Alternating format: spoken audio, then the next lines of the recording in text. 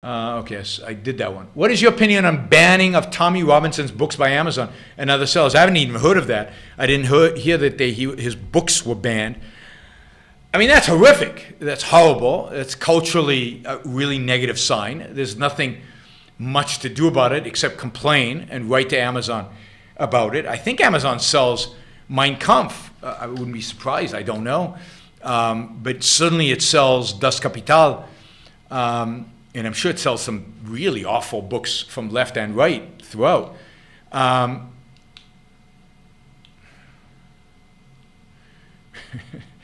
but banning Tommy Robinson is just is just stupid and and uh, and, and wrong uh, on every account. I mean, he's I mean his books might be bad. I don't know. I don't know anything about his books.